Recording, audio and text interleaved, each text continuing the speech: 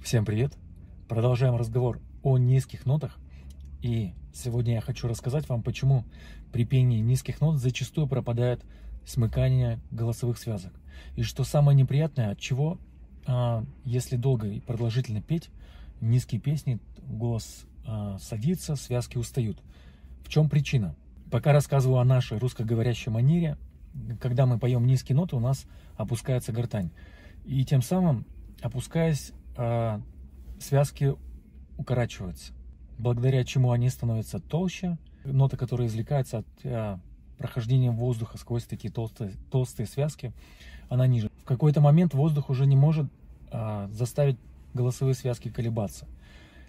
Это можно сравнить со струной, когда мы ее расслабляем, тон, э, нота становится все ниже и ниже, извлекаемая струной, и когда натяжение становится уже слабым, она просто перестает э, колебаться. Может быть не совсем корректный пример, но попробую показать на пальцах.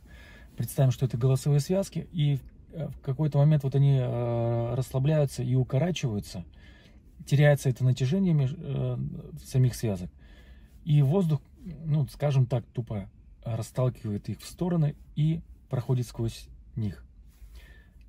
Пропадает смыкание, пропадает тембр в этот момент. Что делаем мы, а, чтобы вернуть этот звук на таких расслабленных связках? Начинаем выдыхать сильнее. Благодаря сильному выдоху, а, возможно, удастся создать какое-то небольшое колебание, но тоже там буквально а, на паре нот вниз. А на самом деле, что происходит? Расслабленные связки уже не ударяются друг об друга благодаря сильному потоку воздуха, а начинают колебаться края связок. И именно в этот момент мы слышим такой вот, я не знаю, как правильно его назвать, э, пение с придыханием на низких нотах. Ну вот попробую изобразить. А -а -а. То есть смыкание вы можете слышать абсолютно нет, колеблется только края связок. И с одной стороны нота звучит, но с другой она ну, неполноценная. Это тембра в ней нет. Вот еще раз слушаем. А, а, ну, в принципе, можно ее даже в какой-то степени раскачать дыхание. Вот я об этом говорил, да, несколько нот. Возможно зацепить более сильным дыханием и даже начинают вибрировать а, грудные резонаторы. Но при этом звук тембрально неполноценный. Попробую еще ниже. Вот. Уже смыкания нет и слышен такой шелест воздуха. Ну, где-то там на фоне улавливается низкая нота, но это не то. А, вот. И, естественно, вот такой интенсивный поток воздуха, он сильно вредит голосовым связкам. То есть, возможно, связки, мышцы в связках напрягаются да, от этого, ну, от потока, сопротивляясь ему, чтобы хоть как-то зацепить эту ноту. А, либо просто сильный поток ну, воздуха вредит им. Недаром говорят, что шепотом разговаривать вредно. Вот примерно эти процессы происходят на голосовых связках.